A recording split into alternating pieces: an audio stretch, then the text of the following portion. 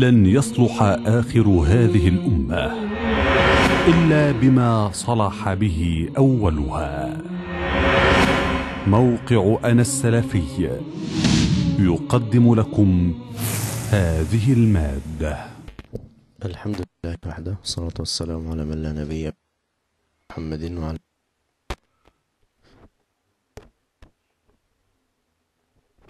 يا أيها الذين آمنوا ليبلونكم الله بشيء من الصيد تناله أيديكم ورماحكم ليعلم ليعلم الله من يخافه بالغيب فمن اعتدى بعد ذلك فله عذاب أليم يا أيها الذين آمنوا لا تقتلوا الصيد وأنتم حرم ومن قتله منكم متعمدا فجزاء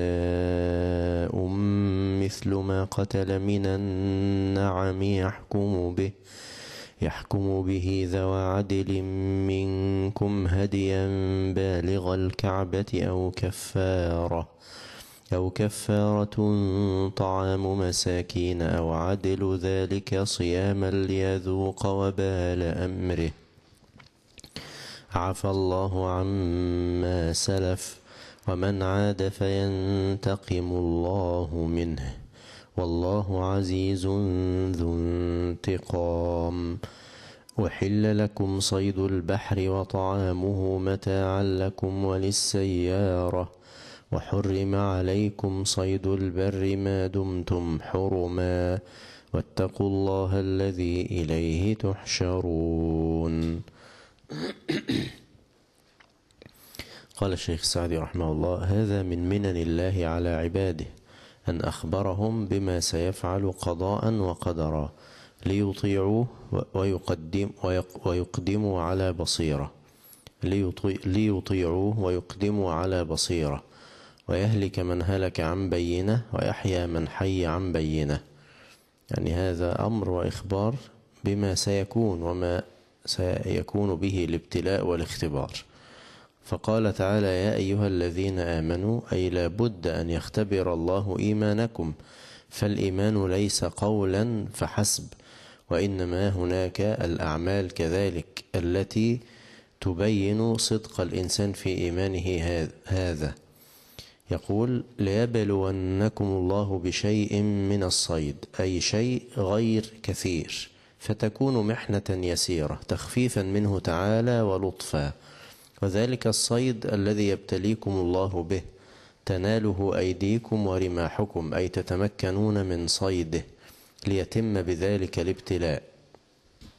تتمكنون من صيده ليتم بذلك الابتلاء لا غير مقدور عليه بيد ولا رمح فلا يبقى للابتلاء فائدة. يعني هو مقدور وبين أيديكم ويمكنكم صيده. يقول ليعلم الله أي علما ظاهرا للخلق يترتب عليه الثواب والعقاب.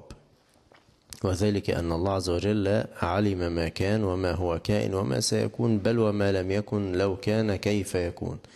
فما معنى ليعلم الله من يخافه بالغيب؟ أي يعلم علما ظاهرا للخلق علما يترتب عليه الثواب والعقاب. ليعلم الله من يخافه بالغيب أي فيكف عما نهى الله عنه مع قدرته عليه وتمكنه فيثيبه الثواب الجزيل. ممن لا يخافه بالغيب فلا يرتدع عن معصية تعرض له فيصطاد ما تمكن منه. فمن اعتدى أي منكم بعد هذا البيان الذي قطع الحجج وأوضح السبيل فله عذاب أليم أي مؤلم موجع لا يقدر على وصفه إلا الله لأنه لا عذر له أو لا عذر لذلك المعتدي والاعتبار بمن يخافه بالغيب وعدم حضور الناس عنده وأما إظهار مخافة الناس وأما إظهار مخافة الله عند الناس فقد يكون ذلك لأجل مخافة الناس فلا يثاب على ذلك يعني الخوف الحقيقي إنما يظهر حينما يكون الإنسان بعيدا عن الناس لا يطلع عليه إلا الله. ثم صرح بالنهي عن قتل الصيد في حال الإحرام فقال يا أيها الذين آمنوا لا تقتلوا الصيد وأنتم حرم أي محرمون في الحج والعمرة. يقول والنهي عن قتله يشمل النهي عن مقدمات القتل وعن المشاركة في القتل والدلالة عليه والإعانة على قتله. حتى أن من حتى أن من تمام ذلك أن أنه ينهى المحرم عن أكل ما قتل أو صيد لأجله. وهذا كله تعظيم لهذا النسك أنه يحرم على المحرم قتل وصيد ما كان حلالا له قبل الإحرام. يا أيها الذين آمنوا لا تقتلوا الصيد وأنتم حرم. مكة بلد حرام بلد آمن وبلد أمين. فلذلك لها أحكام تختلف عن غيرها من البلاد. وقد حرمها الله عز وجل ودعا لها إبراهيم عليه الصلاة والسلام. والمدينة كذلك حرمها ودعا لها النبي صلى الله عليه وسلم. لذلك كما قلت لها أحكام ليست لغيرها من البلاد. فإن كنت أنت هنا في بلدك مثلا لو كنت في رحلة برية فلك أن تصيد الحيوانات التي أجاز الشرع أكلها كالأرانب والغزال ونحو ذلك. أما في مكة فلا يجوز الصيد لا لأهل مكة ولا لغيرهم سواء كان الإنسان محرما أو غير محرم. وأما خارج مكة فلا يجوز الصيد للمحرم لو كان غير محرم لا مانع أن يصيد. لكن إذا كان محرما فحال الإحرام تجعل الصيد محرما عليه. يا أيها الذين أمنوا لا تقتلوا الصيد وأنتم حرم يعني محرمون في الحج والعمرة. ولا وليس هذا النهي فقط نهيا عن قتله. يقول وإنما يشمل النهي عن مقدمات القتل وعن المشاركة في القتل.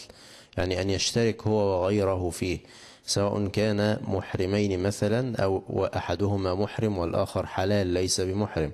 والدلالة عليه أن يدل الذي يريد الصيد على مكان الصيد والإعانة على قتله بل أن ينهى المحرم عن أكل ما قتل أو صيد لأجله. هو لم يشارك لم يدل لم يعن على القتل لكن صاد له إنسان صيدا وهو يقدمه له ليأكله. فيسأله لو كان قد صاد ذلك له طبعا هذا الثاني ليس بمحرم لو كان قد صاد ذلك له فلا يجوز له أن يأكل منه. يقول ينهى المحرم عن أكل ما قتل أو صيد لأجله. وهذا كله تعظيم لهذا النسك العظيم. أنه يحرم على المحرم قتل وصيد ما كان حلالا قبل الإحرام. يحرم على المحرم قتل وصيد ما كان حلالا له قبل الإحرام يعني لو كان خارج مكة فله أن يصطاد ما يشاء من الحيوانات التي أحلها الشرع لكن إذا صار محرما يحرم عليه صيد هذه الحيوانات. وقوله ومن قتله منكم متعمدا فجزاء مثل ما قتل من النعم. هذه الآية تبين ما الذي يكون على الذي خالف هذا الحكم وسنتكلم فيها إن شاء الله في اليوم التالي بإذن الله تعالى. هذه الآية أو هذه الآيات تبين لنا حكما من الأحكام الشرعية وهي حرمة الصيد على المحرم. وعلى المحرم والحلال إن كان بمكة فيحرم على المحرم بحج أو عمرة قتل الصيد البري المأكول أو التعرض له بأذى أو المعاونة على قتله أو غير ذلك من الصور التي ذكرناها. وهذا بخلاف الحيوانات الضارة التي لا تؤكل كالفواسق الخمس الفأر والحدأة والكلب العقور والحية ونحو ذلك. هذه تقتل. كما في قول النبي صلى الله عليه وسلم خمس من الدواب كلهن فواسق أو فاسق يقتلن في الحرم. الغراب والحدأة والعقرب والفأرة والكلب العقور كما عند الشيخين. يجوز للمحرم قتلها وهذا هو الصحيح من أقوال أهل العلم.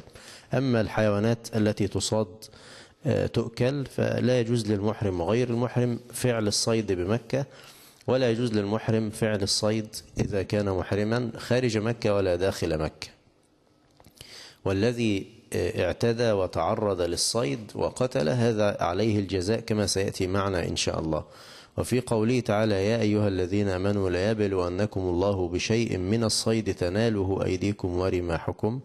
هذا فيه بيان واختبار حقيقة الإيمان وأن الإيمان كما ذكرنا ليس قولا فحسب. نعم يثبت حكم الإسلام للإنسان حينما يتلفظ بكلمة الشهادة لا ننقب على ما في قلبه ولا نشق عما في صدره. ولكن ما هو صدقه في هذا الإيمان؟ إنما يزداد الإنسان إيمانا أو ينقص ويظهر ذلك في هذه المواقف عند الابتلاء. فقد تساوى الناس في العافية فعند البلاء يتبين الرجل. يختلف الناس ويصدر الناس مصادر شتى, شتى وذلك بحسب ما في قلوبهم من الإيمان. فالإيمان قول وعمل عمل بالقلب وعمل بالجوارح يزيد وينقص يزيد بالطاعة وينقص بالمعصية وعلى المسلم أن يتفقد إيمانه. كذلك أمارة الخوف الصادق أن يكون بالغيب. فالعبد مأمور بالخوف من الله عز وجل. يخاف الله عز وجل أمام الناس ويخاف الله عز وجل كذلك في الخلوة وهي أكثر ما يبين صدق الإنسان في هذا الخوف من الله عز وجل حيث يغيب الرقيب لا يراه إلا الله فيظهر صدقه في الخوف من الله عز وجل. فمن اعتدى بعد ذلك فله عذاب أليم وهذا العذاب الأليم يكون منه ما هو في الدنيا ويكون كذلك ما هو في الآخرة لمن مات غير تائب. وسنبين كفارة قتل الصيد في الآيات القادمة بإذن الله تعالى. قولوا قولي هذا وأستغفر الله لي ولكم وجزاكم الله خير. قل هذه سبيلي أدعو إلى الله. على بصيرة أنا ومن اتبعني وسبحان الله وما أنا من المشركين.